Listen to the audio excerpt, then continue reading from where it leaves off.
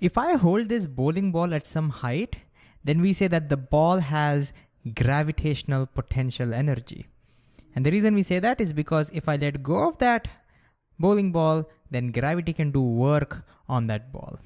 Now the question we want to try and answer in this video is exactly how much potential energy does this ball have? Meaning if I know the mass of this ball, let's say it's m, and I know exactly how high it is, what is the potential energy? That's what we want to try and figure out. All right, so how do we do this? I think we can do that if we understand exactly the meaning of this word. So what is the meaning of the word energy?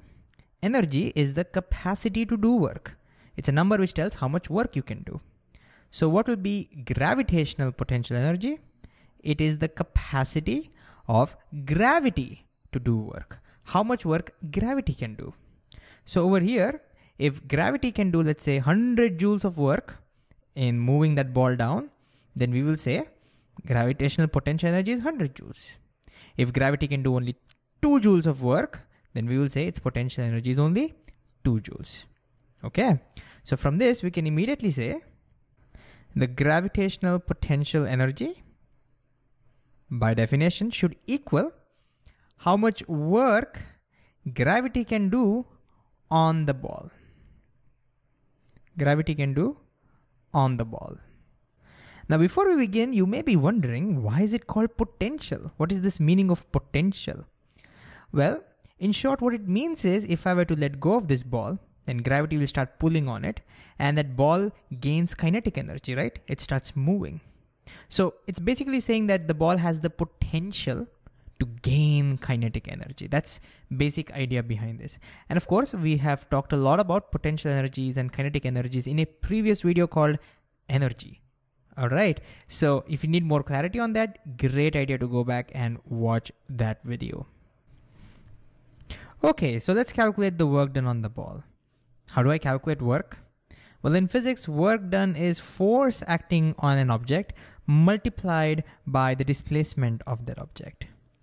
So that means all we have to do is calculate how much force is acting on this ball multiplied by how much displacement this ball gets. All right, so how much force is acting on this ball? Which force are we talking about? Well, since we are dealing with gravity, we are talking about the gravitational force. And we have seen before, the force of gravity on any object is just mass times the gravitational acceleration, mg. We also call this as the weight of that ball. Okay, and how much displacement can this ball get? Well, if I just drop this ball, the ball can will fall all the way from here to here. And so the displacement of that ball is just going to be the height. And so what do you think will happen uh, if I multiply force and displacement? What will I get? Can we just pause the video and think about this? All right, we'll get force, which is the weight mg, times displacement, which is the height. And so this is the gravitational potential energy of the ball. It's m times g times h. Let's take some numbers. Let's say the mass of our bowling ball is two kilograms. And imagine we raise it to a height of say three meters. Can you calculate how much potential energy this ball will have? Go ahead, substitute and see how much you'll get. Okay, so if we substitute, we'll get mass, which is two kilograms. I'm not going to write the units. And the reason for that is because I already know the units of my potential energy. Since the energy is the same as work done, uh, the unit of energy will be the same as work done, which is joules and everything is in standard units. So our answer is going to be in joules. Okay, so I'll not put in the units. So two kilograms times G, how much is G? G is 9.8, but we can take it as 10. We can round it off. Times the height, which is three, three meters. And how much does that give us? That gives us three twos are six, six times 10 is 60. So the potential energy of this ball is 60 joules. And what does that mean? This means that if I let go of this ball, then gravity will do 60 joules of work in pushing that ball or pulling that ball from here to here. Now, before we wrap up this video, one doubt I always had is, should I calculate this height always from the ground itself? Here's what I mean. Imagine I'm holding a bowling ball on the first floor of a building. Now to calculate the potential energy over here, should I calculate the height from the floor of that room? Or should I calculate the height from the ground floor of that building? Which height should I take? What do you think? This was my biggest confusion. Well, you can take any height you want. It all depends upon the situation. For example, if you're dropping this ball on the first floor, then it'll go and hit the floor over here. This is the lowest point, right? So this is kind of the ground for us. In that case, it just makes sense to say that this is the height. And so we'll get a smaller value of potential energy.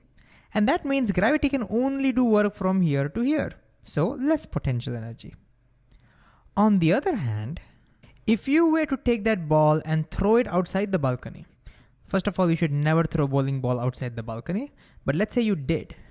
Now, that ball can fall all the way down to the ground. So now it makes sense to say this is the height of that ball. And so you'll get a larger potential energy for that same position because now gravity can do more work from here all the way till here. So yeah, your potential energy completely depends upon what you choose as your ground and you're free to choose whatever, whichever level you want as your ground. And what I like to do is whenever I'm calculating potential energy of any object, I will take the lowest point that object can go as my ground and calculate the height from there. So if I'm dropping the ball on the first floor itself, then to calculate the potential energy of the ball over here, I would just take this as the height. And just to give you another example, let's say we're dealing with a pendulum. Imagine that bob is attached to a string and we can make it swing. And now if I want to know what is the potential energy of the ball over here, again, I will think what is the lowest point that ball can come in this experiment. So here, if I let go of the ball, notice the ball can swing to this. This is the lowest point the ball can come. After that, the ball will go again, go up there, right? So in this case, it'll just make sense to say this as our ground level and this as the height to calculate the potential energy of the ball at this point. So to summarize, what did we learn in this video? We learned how to calculate the potential energy of any body due to gravity. And how do we do that? Well, we calculate how much work gravity can do. And just like any work, we multiply force into displacement. The force over here is the force of gravity and the displacement will just be the height, giving us mgh which means if you ever forget this equation, no problem. If you just go back to the basics of work done, you can always derive it in one step. And if you ever get confused about from where should you calculate that height, where is your ground in general, and you are free to choose whichever level as you want as your ground. And what I like to do is that in any experiment, I ask myself, what is the lowest point that object can reach in that experiment? And then call that as my ground and calculate the height from there to calculate potential energy.